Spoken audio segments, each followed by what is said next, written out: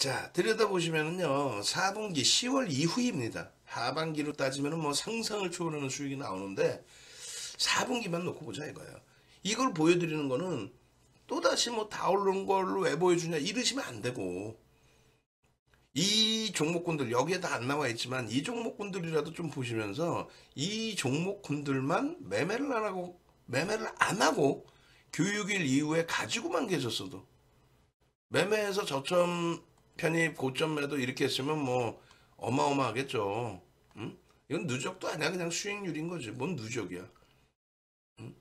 결론적으로 금양 같은 경우를 10% 비중으로 우리가 공략을 했단 말이에요. 그러니까 2조 4천억까지 올라왔어요. 2조 4천억. 그러니까 뭐 10월 이후에만 189% 고점이 최고점 잘 잡았느냐? 아유 최 최 최 최 최고점을 잡았잖아요. 41,700원이 상한가인데 윤정두 생일 11월 9일 날 4만 1,500원 찍고 밀렸죠. 우리는 올라가는 과정에 39,000원에 한번 뺏기고 절반을 왜? 꺾여서 밀려 내려와서 절반 뺏기고 이렇게 있는데 다시 들어올려서 41,500원 밀고 내려와서 41,000원의 전량 매도 끝. 그러면 결론은 우리는 12, 10월 13일 상한가, 10월 28일 상한가, 그리고 이제 고점에서 차익 실현 재편입, 그러고 나서 11월 9일에 최고점에 또 전량 차익 실현. 그리고 기가 막힌 게 금양은 금양하고 잘 맞는 것 같아요, 우리는. 어? 어찌됐건 펀더멘탈은 뭐 확인해야 될 게 많지만, 이 금양 맨 처음 들어갈 때 7,000원, 6,000원대에서부터, 6,000원대에서부터, 7월 25일부터, 7월 25, 26 상한가 다 잡아먹고, 그 금양의 흐름에 11월 9일 최고점에 전량 차익 실현을 했더니 다음 날 개파락 9% 그리고 종가 마이너스 20% 대박이죠.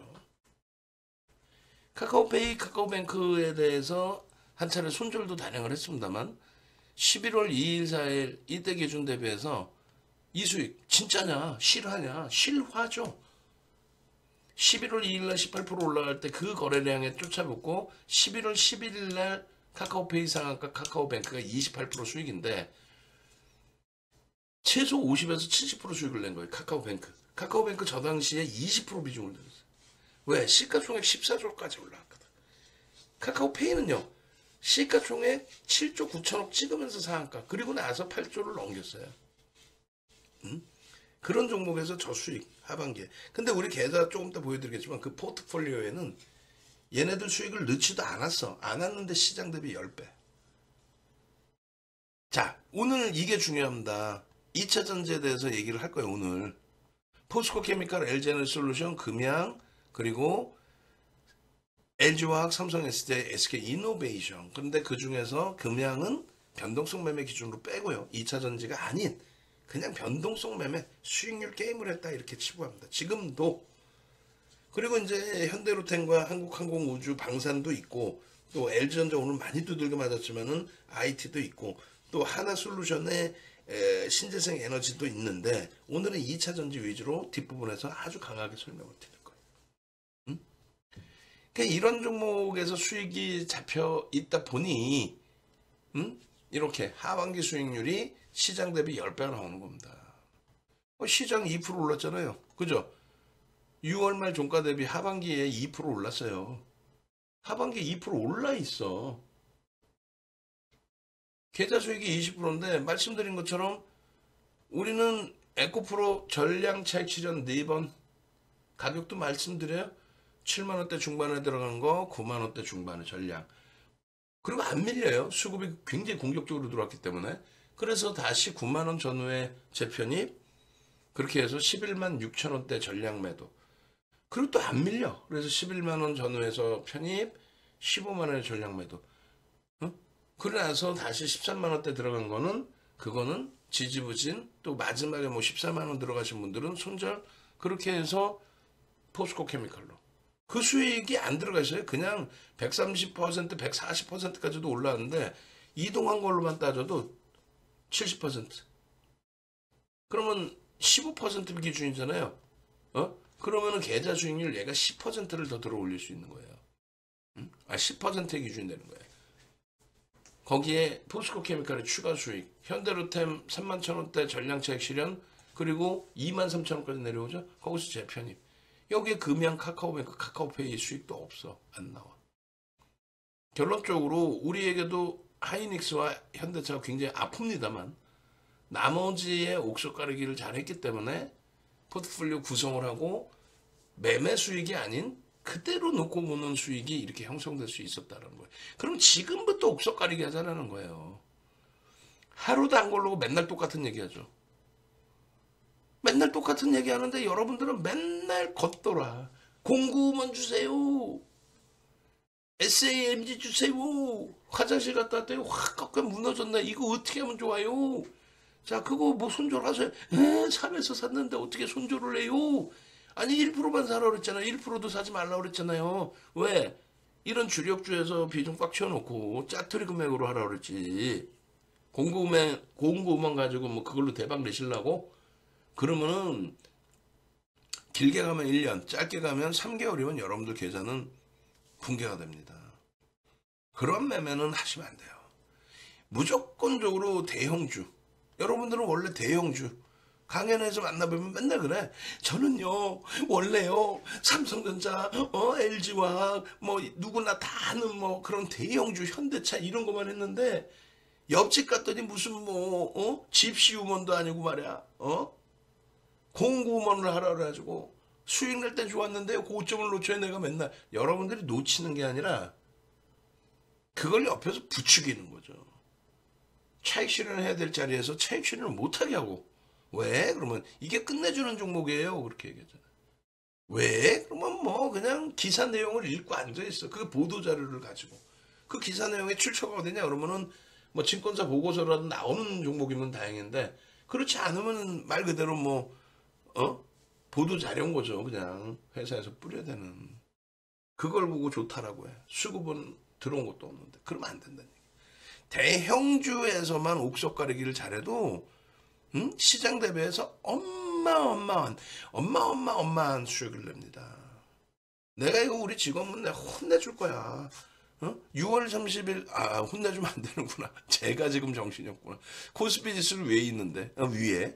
그래서 아까 이 계좌 이 수익률보다 계좌 수익률이 10배다 이렇게 한 거고 순간적으로 이제 대형주 수익을 보면서 얘기를 한 거예요. 시장 대비 대형주가 하반기에 조금이라도 더 올라와 있어요. 근데 여기서 잘 생각해 보세요. 윤정두가 악을 쓰고 네이버 카카오를 정리하라고 그랬죠. 왜요? 남의 종목을 뭐라 하는 윤정두가 아닙니다. 다만 9월 8일날 가입하신 분이 네이버, 카카오, 삼성전자, SK 하이닉스 네 종목을 갖고 있어요. 9월 8일 날 가입하신 분. 그 윤정두가 딱 잘라서 뭐라 그랬어요? 하이닉스 빼고 싹 정리. 사실은 삼성전자를 갖고 있었어야 되는데 그죠? 삼성전자는 그래도 시장 그 등락률 수준에 있어요. 그래서 바닥 대비 시장 11% 올라와 있을 때 지금 11% 올라와 있죠 시장이. 삼성전자는 그래도 14% 15% 올라와 있어요. 하이닉스는 오히려 마이너스야.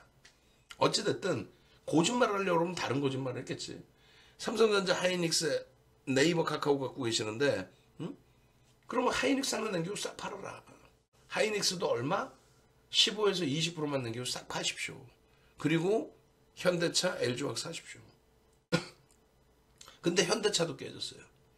근데 LG화학이 속된 표현으로 미친 듯이 날아가 버립니다. 지금 현재 기준에서도 어? 9월 말 대비해서 따지면은 어, 10월 달에 한 40% 가까이 올라왔을걸요. 34%? 34%. 거기에 나머지를 뭐 사자고 그랬습니까? 그 당시 기준에 방산주, 그리고 신재생 에너지, 그리고 2차 전지. 그런데 매수 사이는, 매매 사이는 2차 전지 위주로 가요. 왜? 방산주가 9월 중순 이후에 지금까지도 조정을 사실 많이 받았어요. 고점 대비해서는. 응? 그 다음에 하나솔루션도 매집은 들어오는데 계속 5만원 자락에서 공방. 그리고 2차 전지는요, 속된 표현으로 미친 듯이 날아가 버려요. 9월 중순에 어? 폐배터리 관련주들 다 나락으로 떨어질 때 우리는 거리령 없는 걸 왜 들여다봅니까? 라고 하면서 우리는 그냥 가져갔죠. 뭐를요? 포스코 케미칼. 뭐를요? 에코프로. 코스모 신소재. 그러고 나서 10월 중순에 딱 어떻게 해요? 코스모 신소재도 날려. 에코프로도 날려. 포스코 케미칼. 그리고 아쉽지만 SK 이노베이션을 병행을 했는데 결국은 11월 달 내내 SK 이노베이션보다는 포스코 케미칼 매수량이 더 나갔죠. 그리고 마지막 자리에서 안타깝지만 포스코 케미칼로 압축을 해버렸어요. 아닌 건 빨리 잘라내야 되죠. 그러니까 지금도 가지고 계신 분들이 계실 수 있는데 그거는 이제 방안에서 문의를 주시면 이제 전략을 다시 잡아드릴 거고. 윤정도 하나 특징은 뻥을 안 쳐요. 거짓말 안 해요. 왜 거짓말을 해? 거짓말 하는 순간 정의원님들, 유료원님들은 다 이탈하는 거예요. 사람의 신뢰도가 깨지면. 결론적으로 대형주에서 그 옥석 가리기. 대형주가 왜 이것뿐이 못 올라갔겠어? 시가총액 2위, 3위까지 올라간 네이버 카카오의 붕괴. 이런 부분 때문에 못 올라갔던 거죠. 이것밖에. 그래도 중형주, 소형주보다 월등해요. 월등하단 말이에요. 그럼 여기서 옥석 가리기의 기준은 뭐다? 2차 전지였죠. 오늘 2차 전지 특집 뒷부분에 해드린다고 그랬잖아요. 아니면 붙여가지고 그냥 2차 전지 먼저 해드리고 공고음원, SAMG, 그건 장중 녹화 교육방송 보시면 되고. 응? 제대로 못 들으신 2차 전지. 그래서 2차 전지를 아까 무료방에도 올려드렸던 거예요. 응? 결론적으로 2차 전지에 어, 아쉽게도 SK 이노베이션의 수익률은 뭐 시장 변동률 수준 그렇게 다운이 됐다면 시가총액 17위로 올라온 포스코 케미칼 하반기 130% 올랐어요. 시가총액 17위짜리 17위까지 올라온 포스코 케미칼이 하반기에 130% 올라오고 12% 밀렸습니다. 대박이죠. 음? 그리고 시가총액 5위, 6위 왔다 갔다 하고 있는 LG화학, 삼성 SDI 10월, 11월 달에 30에서 50% 올라와 버립니다. LG에너솔루션도 그 수준입니다. 아, 포스코 케미칼이요. 60%대 올라와요. 두 달 동안의 기준은. 그리고 눌림목이에요.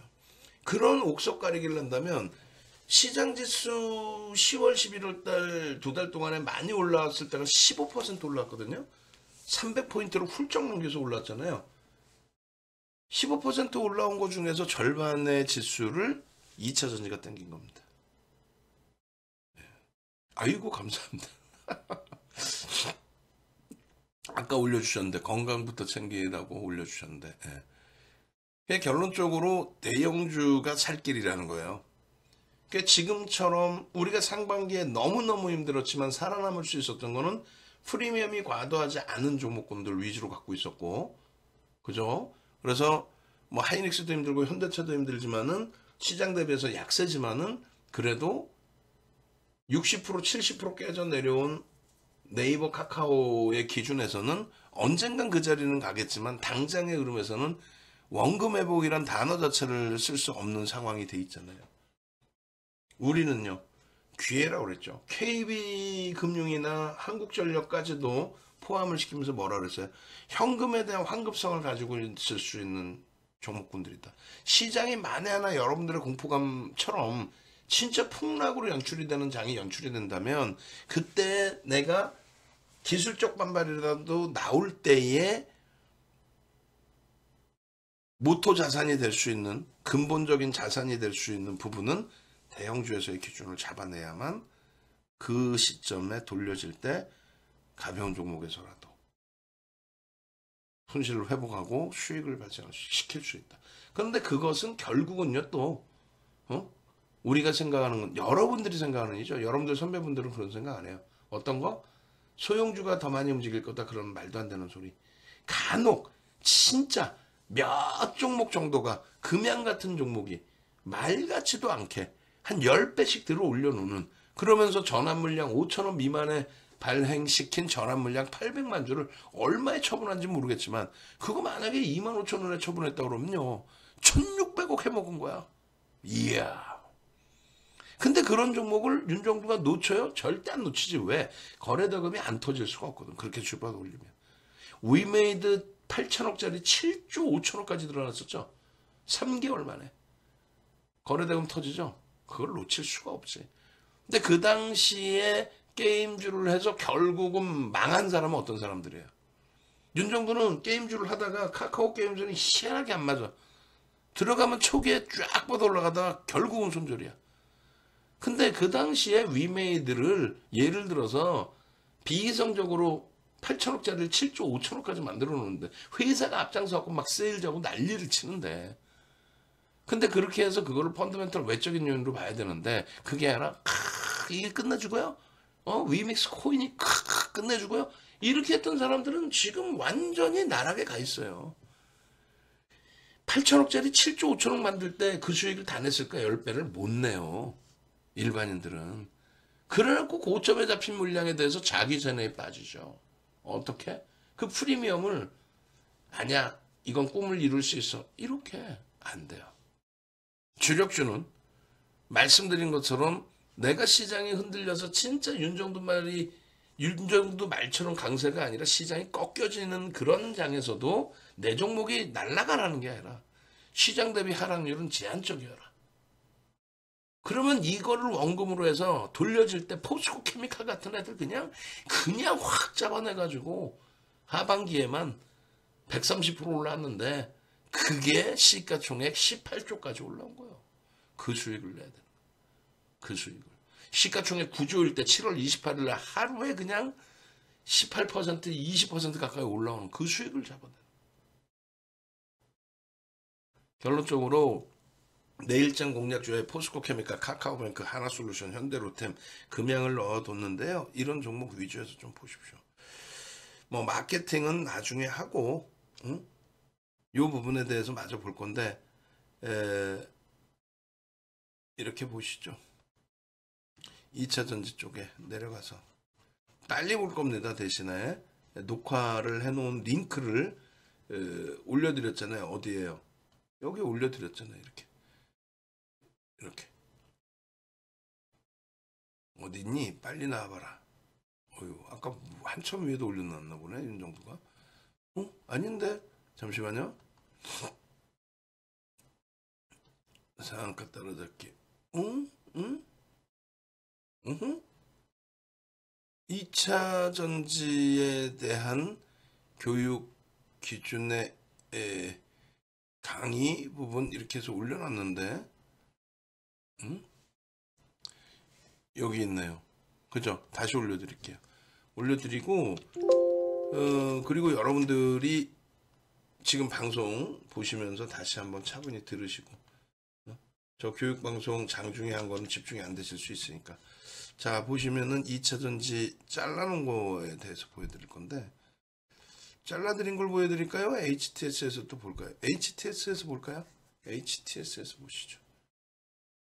아니 우리 영본이 그래 잘라놨으니까 잘라놓은 거 먼저 보시고 HTS 병행합니다. 자 이렇게 보시면 빨라요. 자 내일장 공략주 12월 8일 공략주에 포스코 케미칼과 금양을 넣어놨어요. 이게 이제 뭐 시차를 두고 나중에 보시는 분들도 계실 수 있겠지만 아 이거 시간 지난 건데 안 봐야지 그러지 마세요. 2차 전지 종목을 제대로 이해하시란 말이에요.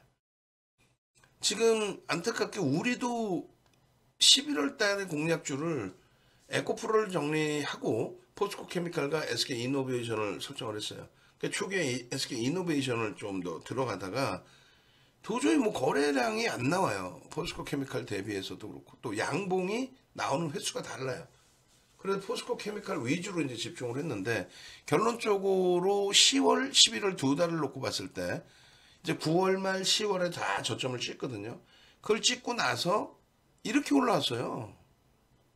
종가 기준으로입니다. 고점 기준으로 하면 뭐 상상을 초월하죠. 고점 기준으로 하면 여기 하락률을 다 갖다 넣어야 되니까. 그럼 뭐 어마어마해집니다, 사실은. 결론적으로 살아남은 건 얘네가 살아남아요. 그러면 그 뜻이 뭐냐? 살아남는다는 표현이 뭐냐? 얘네들 밑에 있는 종목 중에서 그래도 코스닥 시가총액 최상위 종목군들은 어, 요 순서를 시가총액으로 해놓으라 그랬더니 상승률 순서로 해놨네요. 오케이. 얘는 금양은 2차 전지이지만 2차 전지 사업에 껴들어서 이거저것 호재 내놓고 말씀드린 전환 물량 어찌됐건 뭐 까마귀 날짜 배 떨어진다고 어? 전환 물량을 어찌됐건 발행하기 직전에 원통형 배터리 개발 얘기하고 7월 25일, 26일 상한가 날려버리잖아요. 그러나서 8월 달에 전환사채 발행을 했는데 800만 주, 아, 발행이 아니라 행사를 했는데 800만 주인데 그거를 장래에 소진을 시켜야 되는데 2차 전지가 난리가 나기 시작한 거예요. 응? 그잖아요. 그리고 특히 이제 8월 중순에는 폐배터리 관련주. 그렇게 되면서 얘는 폐배터리도 아닌데 원통형 배터리를 또 울고 먹어 또. 그렇게 해서 주가가 올라온 게 41,500원까지 올라옵니다. 그 과정 속에서 리튬, 콩고, MOU, 그리고 본계약. 결론적으로 600% 이상이에요. 10월 달에만, 10월 달에만 111% 아니지. 고점 대비해서 하락률 저렇게 나와 있잖아요.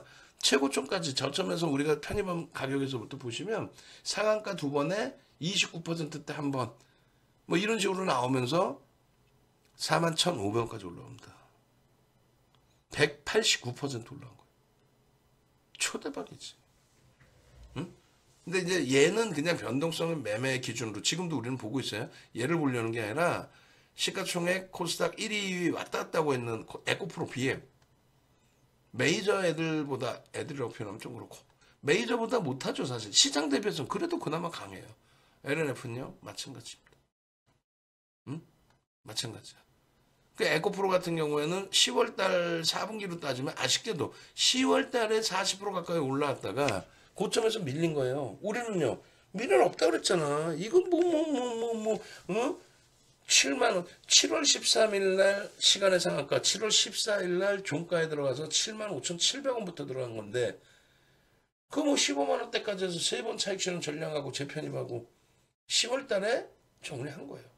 어찌됐건, 그나마 이 정도가 나요. 그리고 코스모 신소재도.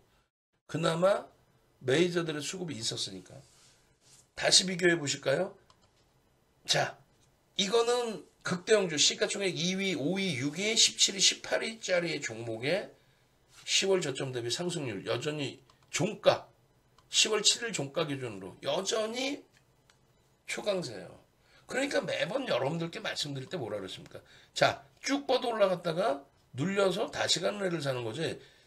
대바닥 줍니다. 미친 정신 나가. 여러분들 말씀드리는 게 아니라 그런 친구들한테 돈 갖다 주고 있잖아요. 여러분들은 어느 녀석이 새벽까지 여러분들을 위해서 무료 방송을 해드리고 그런 사람이 어딨어. 동영상을 무슨 뭐 30분, 50분, 1시간을 알아듣든 못 알아듣든 가장 쉽게 설명하려고 노력해가면서 교육해주는 사람이 어딨냐고요. 시장 상황에 대해서 하나하나 조목조목 다 시황 설명해 주는 사람이 어딨어. 그렇게 해서 이렇게 어? 알려드리면 그래 2차 전지에서도 얘네가 강하구나. 시가총액 극대형주가. 실질적인 모멘텀이 있는 쪽이. 응? 여기서 한 단계 더 넘어가면 어떻게 되는지 알아요? 이렇게 돼버립니다. 이렇게. 세비캠이 30.22% 빠진 것 같죠? 고점 대비 하락률이 33.70인 것 같죠? 10월 달만 따지면. 얘네들의 고점은 9월이에요. 8월 중순부터 미친 듯이 올랐어요. 2차전 폐배터리 관련해서. 폐배터리는요. IRA 때문에 미국에서 중국 쪽 그러니까 중간 선거에 그게 중간 선거를 표를 얻기 위해서 중간 선거에서 표를 얻기 위해서 민주당 쪽에서 원래는 어, 민주당이 진보고 공화당이 보수잖아요. 그래서 공화당은 마초 기질을 보여줘야 되고 표를 얻기 위해서는 백인, 우호주의, 또 남성, 화이트 칼라, 응? 마초 강한 남자 뭐 이런 모습을 보여줘야 돼요. 그래서 아버지 부시 아들 부시 또 트럼프 대통령이 굉장히 강한 이미지를 표출하면서 야 다덴병 쌈딱처럼 이렇게 하는 거예요. 그러다 보니까 세계적으로 언론에서는 트럼프 대통령이 이상한 사람이다. 뭐 어?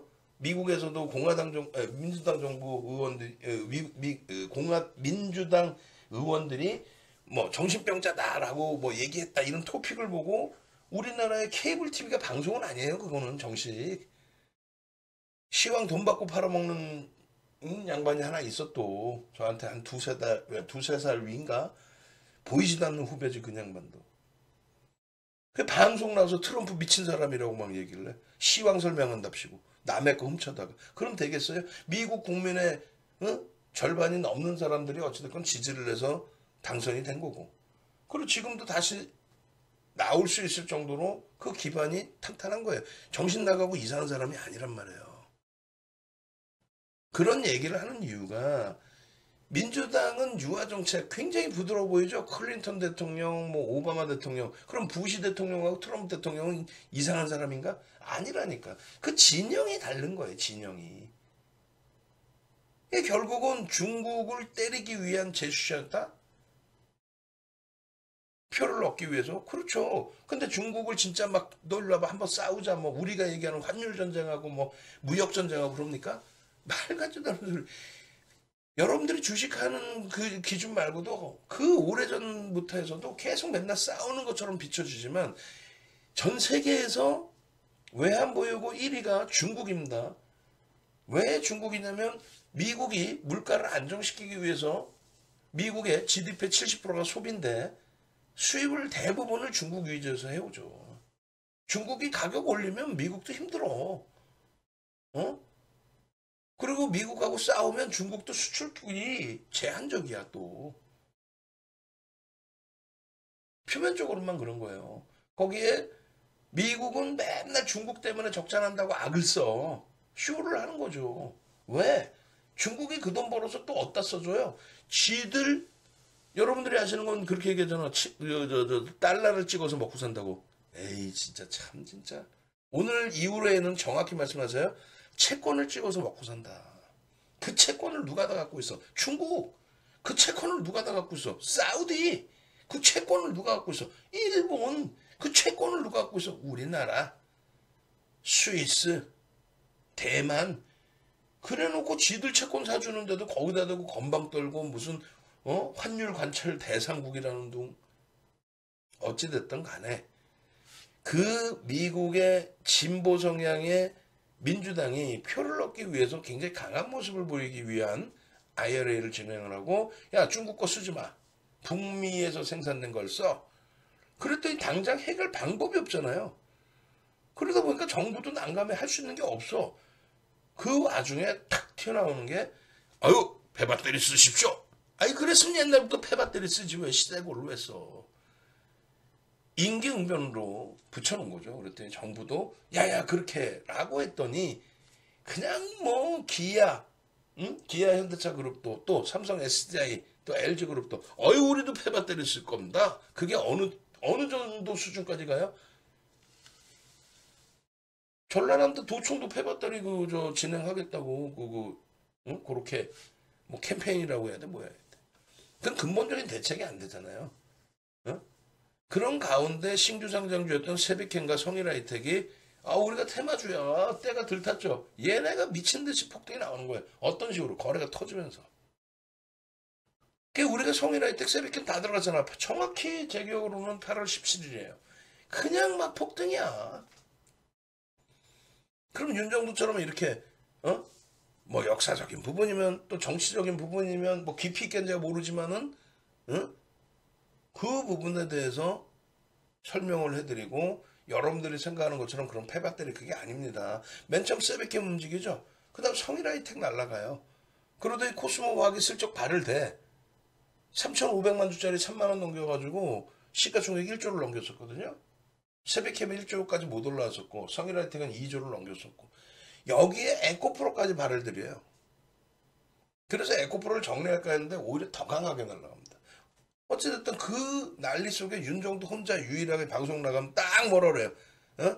세비캠 뭐 오늘 뭐 급등 축하합니다. 뭐 딱 이러면서 뭐라 그래요. 남들 헛소리하고 패박들 얘기할 때 여러분 지금과 같은 논리입니다. 중간선거 지나고 나면은 또 그전에라도 음, 현실성이 제한, 제한적입니다. 그럼 결국은요. 결국은요. 유통망을 갖고 있는 쪽이 가장 큰 이득을 볼 수밖에 없습니다. 그 유통망을 갖고 있는 쪽은 포스코 그룹이 잘 생각해 보세요. 이명박 전 대통령 정부 때 자원 외교한다고 해가지고 그 커넥션 무지하게 심했죠. 굉장히 심각했어. 그러니까 난 정치적인 내용은 모르겠고 결국은 그게 시간이 지나서 지금의 기준에서는 그 당시에 뭐 잘했다 그런 개념을 떠나서 그 유통망이 형성되어 있는 거예요. 자원 외교에 대한. 그래서 포스코 케미칼이 현실적으로 패바 때리고 그 말 같지도 않은 소리 하지 말고 북미 쪽의 제품을 그 유통망을 뚫어서 또 북미가 아니더라도 중국 이외에서 원자료를 원재료를 조달할 수 있는 거는 현실적으로 포스코 케미칼이다. 그 내용입니다. 현실적으로. 그래서 그 혀- 포스코 케미칼의 수급이 외국 기관이 뭐 그냥 속된 표현으로 미친 듯이 추가 매수가 들어오기 시작합니다. 그러면서 하반기에 130%의 어? 시가총액 17위까지 올라온 거지. 그냥 뭐 허투루 뭐 아이고 뭐 내가 보니까 되게 좋아 보이는데 내 기분이 좋고 아우 이 이름이 나하고 딱 맞는데 요딱으로 해가지고 올라가는 게 아니란 말이에요. 결국은 얘네들은 그 거품이 다 빠진 거죠. 이걸 보여드리는 이유가 시가총액 지금 20위 안에 들어와 있는 이 종목에서 초록 색깔 선을 그어드린 저 다섯 종목 아쉽게도 SK 이노베이션 약하죠 제일 저네 종목의 흐름이 다시금 움직임을 줄 거냐 했을 때 사실은 LG에너지 솔루션 이제 수급을 잘 보셔야 돼요. 11월 이후에 수급이 정체란 말이에요. 응? 정체입니다. 왜 그럴까요? 11월 말에 LG에너지 솔루션에 대해서 응? 어, 품절주라는 표현들을 이제 많이 쓰잖아요. 어? 뭐 양지사 같은 경우 우리가 설정을 해드리고 뭐 상한가도 받지만 그건 뭐 비중을 실어가서 실어서 갈 수도 없는 거고. 그 LG에너지 솔루션이 LG 화학이 81.84%를 갖고 있는데 그게 보호예수가 풀립니다. 언제 7월에 풀립니다. 7월 말에. 7월 말에 풀리면서 미국의 MSCI, 영국의 FTSE 무슨 얘기냐면은 선진지수 벤치마킹하는 선진지수 모건스탠사에서 만들어 놓은 표본 지수란 말이에요. 그거 이제 우리나라로 포함되어 있죠. MSCI 응? 지수에. 그래서 기계적으로 그 지수를 설정해 놓고 만약에 외국에서 누군가가 나 한국 주식에 투자하고 싶어요. 그쪽이 뭐 좀 수익 낮, 좋다면서요. 하고 들어오는 돈이 있으면 그걸 그대로 우리나라 코스피 200처럼 MSCI 지수에 들어가 있는 종목의 비중을 그대로 벤치마킹해서 삽니다. 얘가 좋은 종목이건 나쁜 종목 그건 중요하지 않아. 시가총액 비중만큼 설정을 하는데 그러면 신규 상장주들의 시가총액 어떻게 할 거야? 예를 들어서 카카오뱅크가 45조까지 올라갔는데 7조까지 내려왔어요. 83%가 깨졌어. 어떻게 할 거야? 그래서 시장에서의 조치는 신규 상장주들의 에, 기준에서는 유통 물량도 감안하고 여러 가지를 감안해서 시가총액 비중을 설정해 줍니다. 코스피 200 지수 내에서의 비중. 우리나라로 따지면 MSCI도 마찬가지예요. 유통 물량이 제한적이고 이러면은 이 지수에 미칠 수 있는 영향력을 제한적으로 주는데 LG에너지 솔루션은 7월 말에 LG화학의 보호해수가 풀림으로써 유통 물량이 풍부한 것처럼 착시 현상이 납니다. 근데 이제 기준은 기준이니까 얘 하나 때문에 뜯어 고칠 수는 없으니 그 기준 그대로. 유통 물량이 돼서 사실상은 뭐 유통하지 않을 물량이죠. 대주주가 LG 에너지 솔루, LG화학이 장래에 뿜어대지는 않을 거란 말이에요. 어찌 됐든 결론은 그 부분에 대해서 바로 이제 추가 유동성을 일부 열어줬고 그 다음에 이제 11월 말에 응? MSCI 지수 반기 지수 바뀔 때 응? 그럴 때의 기준점을 비중을 더 열어줬단 말이에요. 그렇게 되면서 passive 자금이 11월 말에 들어온다라는 것을 알고 지금 거래량이 여기 한번 빵 터져 있죠. 저게 passive 자금이에요. 응? 그럴 줄 알고 결론은 어떻게 해요? 미리 사놓은 active 쪽. 그 active 쪽이 그날 주는 겁니다. 저런 날. 손바뀜이 나오는 거죠. 응? passive 쪽으로. 그 다음에는 조금 주의를 하셔야 되는 게 HMM도 똑같은 흐름이었어요. passive 자금은 절대 그 비중을 안 줄여요. 편출되지 않는 한. 또 비율이 MSCI 지수 비율에서 LG에너지솔루션 비중이 줄어들지 않는 한. 손실이 나도 그대로 갖고 와요. 왜? 시장 수익률을 추구하기 때문에 손실이 난, 뭐 시장의 지수 빠졌다고 일부러 같이 손실을 내는 게 아니라 비중 딱 맞춰놓고 시장 대비해서 조금만 더 방어되고 조금만 더 수익 나게끔 합니다. 음? 그러다 보니까 패시브는 매도를 안 해요. 그러면 그걸 어떻게 하냐면 외국인들이 대차를 해서 그 물량을 공매를 하는 거예요. 이자 주고. 그래서 LG에너솔루션이 진짜 뭐 허벌나게 좋아서의 흐름이 아니라 성장성은 알겠는데 영업이익 1억 분이 못 내는 애가 시가총액 130조 우리나라의 시가총액 3위다? 그러면 현대차 같은 경우 영업이익 10조인데 그거 어떻게 하라는 얘기야? 35조인데 얘는 130조고 그러니까 프리미엄이 너무 높죠. 우리는 그래서 이렇게 위험고지부터 합니다.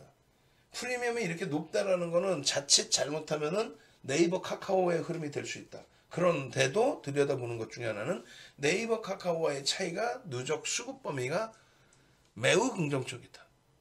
LG에너 솔루션 그리고 당연히 삼성 SDI나 얘가 정확히 10월 21일부터 급등이 나옵니다.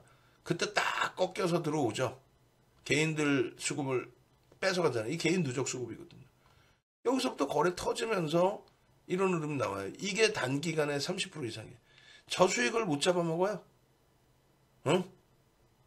잡아먹어야지. 예? 그죠?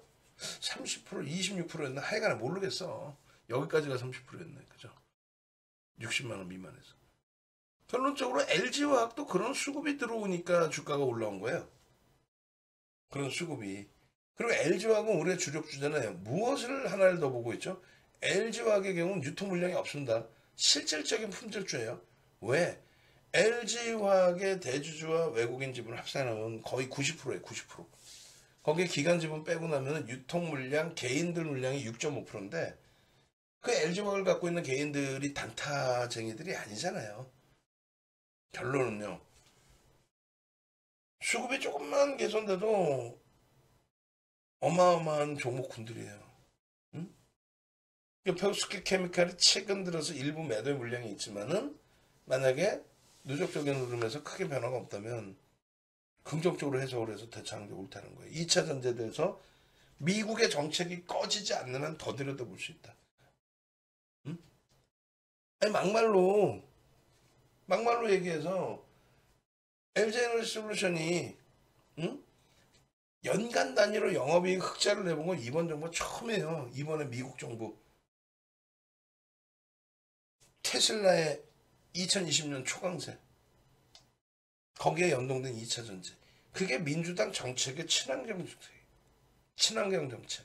그래서 민주당이 이, 이길 가능성이 좀 더 있다라는 쪽에도 무게가 됐죠. 뭐 박빙의 승부이지만. 응? 못 이기면 뭐 못 이기는 거고 이기면 어떻게 돼요? 규제 완화에 엄청난 탄력을 받을 수 있죠. 거기에 성장주 이, 그 전기차의 흐름이 폭등. 그렇게 되면서 2차 전지의 폭등. 2020년도에 2차 전지의 폭등은 상상을 초월합니다. 응?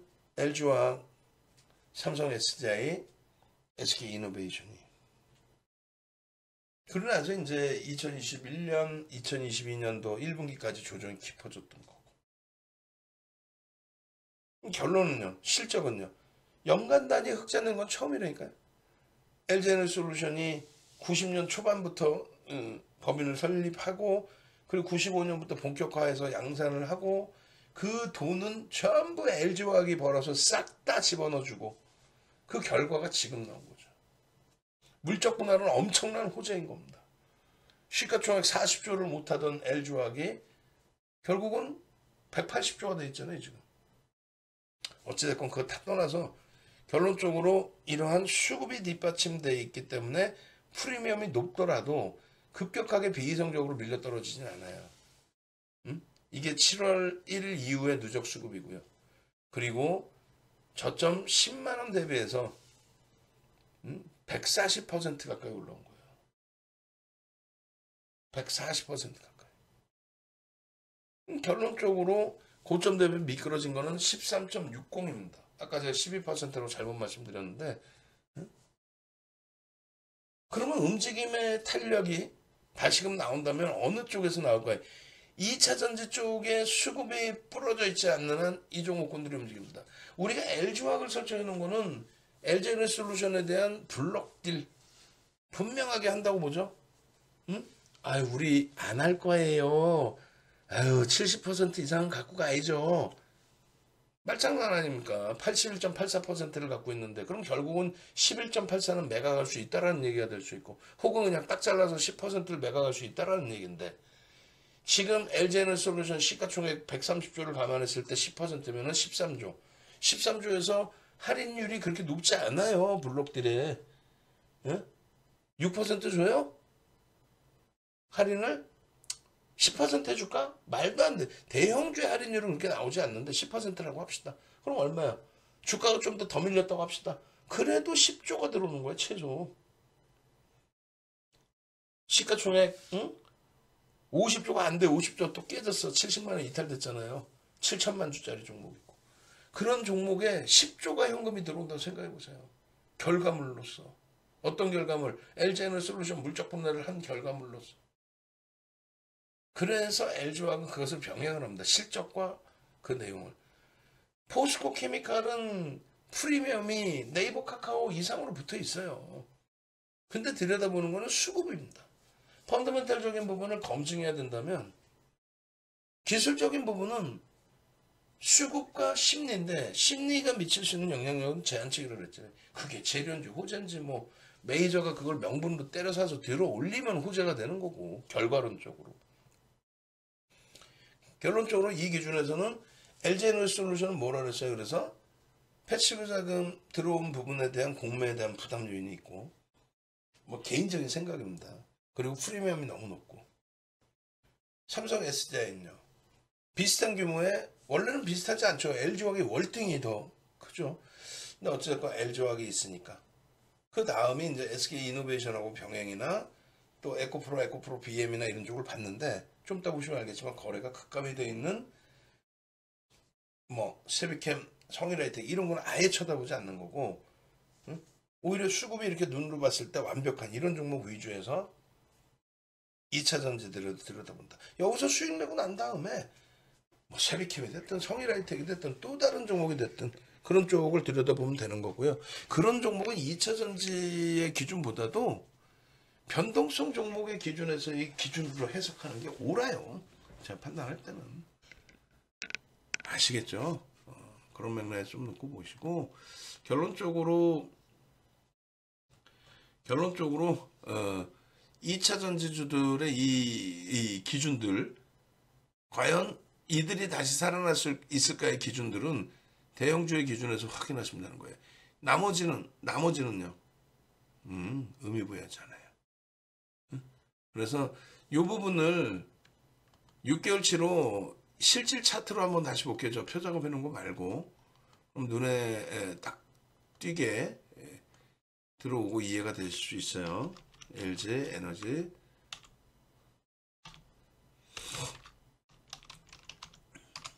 LG 에너지 솔루션입니다.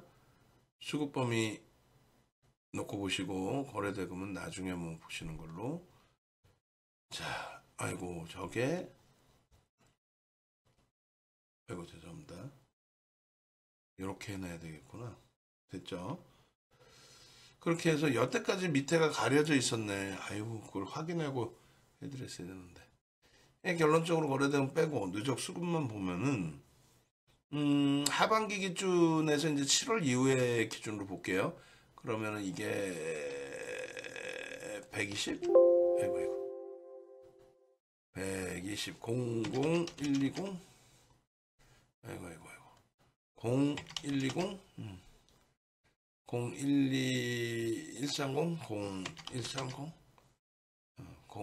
020128 오케이 어때요? 어, 시장 대비해서도 볼까요?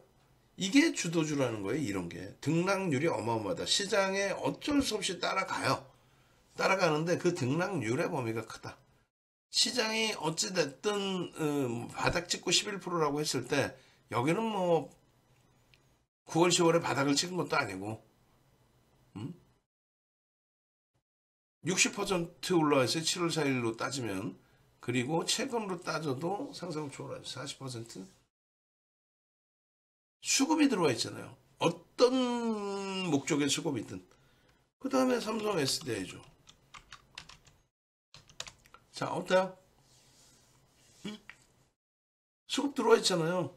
10월 21일입니다. 정확히 날짜를 안 봐 여기서. 근데 정확히 알아. 왜? 방송까지도 갖고 나왔으니까.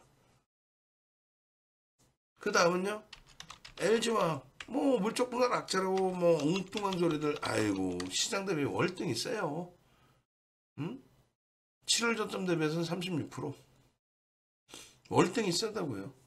그 다음이 뭐 보신 포스코 케미칼이고 SK 이노베이션은 안타깝게도 그렇게 크게 예, 시장 대비해서 월등한 흐름이 나온 건 사실은 아니에요.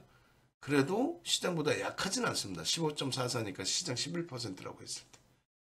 나머지 이제 뭐 예를 들면은 에코프로비엠이나 LNF나 이거 다 있지만은 실질적으로 이제 충격인 거 개인 투자자분들이 좋아하는 거 세, 빛, 캠 놀래지 마세요. 이거 어, 지금 주가 위치가 어떻게 돼 있는지.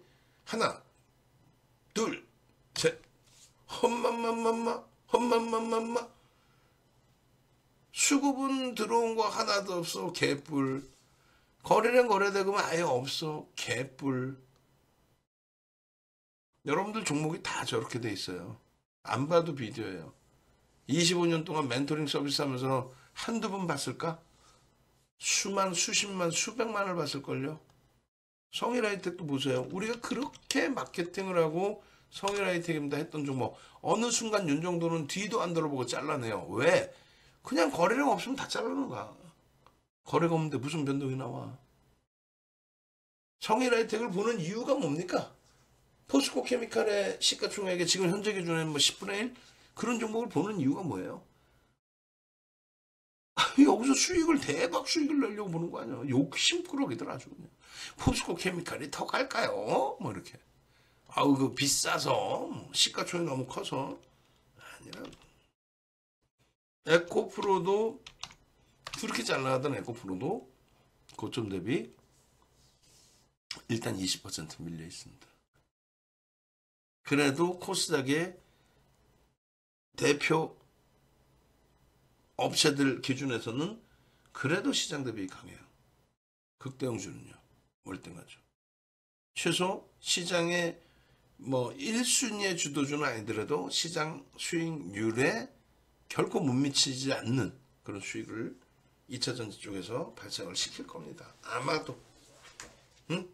그래서 결론적으로 여러분들이 돌아가는 것 같고 더딘 것 같지만 이 2차 전지주들에 대해서도 막연히 보도자료 뉴스 내용 보고 또 애널리스트의 기간 음, 분석만 보고 기간 투자자의 분석만 보고 그렇게 하면 안 돼요.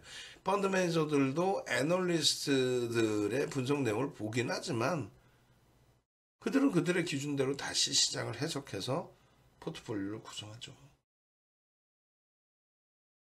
아시겠죠? 자, 결론적으로 우리의 10월 이후에 불기둥 따라잡기 종목의 상당 부분이 2차 전지. 응? 그리고 우리 계좌에서도 LG화학은 주력으로 별도로 설정하지만 에코프로 지금은 포스코 케미칼 LG에너지 솔루션 삼성 SJ 시가총액 2위, 5위, 6위, 17위, 18위의 수익률을 감상해 보세요. 최고점이 아니더라도 감상만이라도 해보세요. 행복하지 않습니까? 이번에 시장 돌리면 이런 수익을 내주세요 라는 게 기준 아니에요? 무슨 소리냐면은 시장이 무려 300포인트 이상 올라왔다가 고점 대비 120포인트 밀렸는데 욕심쟁이들 우후흥 양 아주 그냥 확 그냥 막 그냥 그렇게 올라오고 눌린 거에 대해서 그걸 뭐 추세하락이니 뭐 뭐 뭐 뭐 그런 거에 왜 귀 기울이세요? 야, 이 바닥에서 2400 이 바닥이 깨졌어. 2400이 또 깨졌어. 야, 지표가 그렇게 좋다면서 윤정도 얘기를 들어야지. 바보들아 그러면서 여러분들은 자신감 갖고 이야 그러면 2400 넘기고 2500 넘기고 2600 넘기고 2700 넘기고 연말까지 아직 시간 많습니다. 2000 700 넘길 수 있다고 악을 쓰는 윤정도 손가락질을 하지 마시고 윤정도가 얘기해서 안 된 게 어디 있어요. 시간이 조금 더 걸린 적은 있더라도 결론은 2700에 맞는 2700 해봐야 예? 10% 조금 더 되는 거야. 여기서 뭐 320포인트 해봐야 10% 조금 더 되는 거지. 10% 조금 더 되는 거요? 10월 11월 두달 만에 15% 올랐다니까 고점이.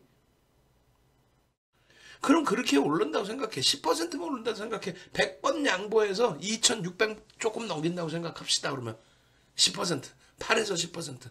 10%면 계좌 수익률 얼마? 최소 20에서 50% 100%를 내야 되는 게 지금 장의 흐름입니다. 그걸 왜 못 내세요? 시장은 지금 10월 11월 11% 이상 종가 기준으로 고점 기준으로 15% 이상 올라왔는데 여러분들 계좌 검사 한번 해볼까요 지금? 그냥 소형주 잡주 똑같은 2차 전지에서도 이런 애들은 수익이 빵빵한데 어디서 듣도 보도 못한 뭐 잡주 소형주 안 된다고 이렇게 많은 분들께서 이게 이제 10% 이상의 수익률의 범위인데 이런 수익 범위들을 시가총액 1, 뭐 두산 에너빌리티 10조, LG화 50조를 넘겼던 그리고 지금 눌려 있지만 그런 수익을 내야 우리 이시돌 전 선생님처럼 이시돌 전 선생님은 어때요? 만기가 2024년 7월 14일이세요. 만기가 2024년이신 분들 꽤 계세요 지금 방 안에. 응? 결론적으로 이 수익 26.89, 그 다음날 바로 또 상한가예요. 주력주에서 수익이 나오니까 이런 종목을 보는 겁니다. 우리는 당장 내일이라도 시장이 어마어마한 탄력을 받고 돌리기 시작한다. 뭐 어마어마하지 않아도 돼. 돌리기 시작한다. 어차피 대형주가 조금만 움직여도 지수는 다 따라서 움직입니다. 시가총액 비중이 한40% 가까이가 IT예요. 그들이 한 10% 반등이 나오면 어떻게 돼요? 시장 지수가 4% 움직이고 그들의 영향으로 나머지 종목까지도 치고 올라서 지수 견인력이 좀 더 늘어나는 거예요. 어찌됐건 우리도 주력주에서 수익 범위가 나오고 힘이 발생되기 시작하면 어떻게 합니까? 아이 피코그램 같은 종목 잡아내야죠. 어떤 거요? 공구먼 같은 종목, 어, 그냥 하루 종일 수익 내고 SAMG 시가총액 잡지만 그냥 오늘 하루 종일 차익 실현 재편이 근데 그거는 금액 많이 들어가면 우리가 대장이지. 그래서 조금만 들어가는 거예요. 포스코 케미칼 이런 시가총액 17조까지 올라오는 18조까지 올라오는 17위짜리 종목에서 10% 이상의 수익만 이렇게 다 보이더라고요. 금양 11월 9일 윤정도 생일날 29.4%인가요? 응? 그 폭등 수익에 여러분들 선배분들은 이렇게 20%, 26%, 어? 그러면서 나노하이텍 같은 종목도 짝짓기로 보시는 거예요. 지금 나노하이텍 어떻게 돼 있나 주가가? 대형주하고는 차별화돼 있죠 또. 더 빠져 있지. 이런 수익들 가져가셔야 돼요. 하루짜리 수익입니다. 하루, 하루, 하루. 양봉일 때 파는 거 아니에요. 양봉에서 꺾일 때 파는 거예요. 여러분들의 원칙일 수도 있겠지만은 그런 거는 좀 고치셔도 나쁘진 않아요. 올라가고 있는데 거기서 뭐 아우 아우 어 이러다 팔면 안 된다고. 꺾이면 그때 팔라고요. 꺾이면. 아우 난 꺾이면 좀 그렇다. 어 그거 화장실도 못 가고. 그러면 스탑로스 기능. 아유 난 그것도 못해. 아이고 그러면 뭘 어떻게 하라는 얘기야. 어 그러면은 일주 이상짜리는 20% 이상이면 오버슈팅이다라고 해서 분할 매도하세요. 근데 말씀드린 것처럼 양봉인데 왜 팔아? 자 몰라. 난 하나도 모르겠어. 그럼 어떻게 해요? 네이버에서 윤정도를 검색해서 찾아오세요. 오셔서 공식 홈페이지 들어오십시오. 들어오셔서 여러 가지 상품이 있는데 그 중에 이거만 하세요. 그냥 어? 이거 그냥 하시면 되잖아. 3개월에 아 저 저저 5개월 2 플러스 3에 396 하느니 저라면 이걸 한다라는 게 선명하다는 거죠. 현명한 거죠. 나는 종목만 주면 나 혼자 스스로 알아서 할 수 있어. 어이 그러면 이쪽으로 오시면 돼요. 근데 그게 아니라 이 늦은 시간까지 방송을 보셔야 되고 어 선생님 이거 내일 어떻게 할까요? 내일 어떤 종목이 올라요? 어떤 종목이 오르기는 오를 종목이 오르지 부채도 세 내가 그러면 우리 주력에서는 가장 매집이 많이 된 종목 과도하게 밀린 종목 이런 게 움직일 것이며 음? 그러한 내용을 일주일 이상짜리에서 이렇게 제대로 하나하나 공부하시고 들어서 이 수익을 내시란 말이에요. 여기 2차 전지, 여기 2차 전지, 여기 2차 전지, 2차 전지. 자, 결론을 내겠습니다. 결론은. 응? 이, 네가 왜 여기 있니? 잠시만요. 아, PPT. 결론적으로 이러한 수익 범위들 11월 11일 날에 이러한 카카오뱅크의 수익 28% 당일의 수익 카카오페이의 상한가의 수익 이거는요 여러분 스스로가 만들어가는 거예요. 윤정도는요 그냥 이 종목입니다. 이 종목의 편입 설정 범위입니다. 이렇게 잡아드리는 거고요. 여러분들은 최종 판단을 하셔서 그래 SM이 기관들이 23% 이상을 매수를 했어 매집을 했어요. 23%. 단기적으로 차익 실현하고 현금을 가지고 계실 수 있는 여력이 되시면은 그 어, 뭐랄까 매매 컨트롤이 되시면은 차익 실현하시고 재편입하시면 되는 거예요. 응? 근데 그렇지 않고 난 직장 다녀 하시면은 더딘 것 같지만 또 눌려져서 안타깝지만 그래도 가져가는 겁니다. 응? 그 종목 팔아서 뭐 어떤 거 사게? 가장 좋은 종목으로 포트를 채워놨는데 단기적으로 변동이 나왔어요. 오버슈팅이 너무 심해. 그럼 모를까? 그 종목 팔아서 얻다가 뭐 어떤 종목을 사놓게. 현금으로 갖고 계실 수 있는 마인드 컨트롤을 할 수 있으면 상관없습니다. 결론적으로 극대형주의 포트에서 수익이 정체 상태에 놓여져 있다 보니까 가장 마지막 최근에 아니 5거래일 동안에 또 시장 빠졌잖아요. 그러니까 포스코 엠텍 같은 종목 이런 종목의 변동이 확장이 됐는데 그 수익을 우리는요. 기초 탄탄 교육 받고 다 잡아내시잖아요. 난 존경스러워. 제가 판단할 때는 수익률 대회 나가셔도 돼요. 그럼 내가 볼 때는 1등 할걸요. 아, 왜 1등 못해요? 이거 충분히 1등 하실 수 있어요. 응? SAMG 엔터 이런 종목에서 어? 아주 현명하신 차익 실현까지 다 여러분들 스스로가 해내시잖아요. 그리고 공부문의 이런 상한가까지. 응? 관망만 했는데 이렇게 힘든 장에 상한가 실력 짱이십니다. 윤정도예요. 윤정도라고. 응? 아시겠어요? 여러분들 스스로가 주인이 되셔야 됩니다.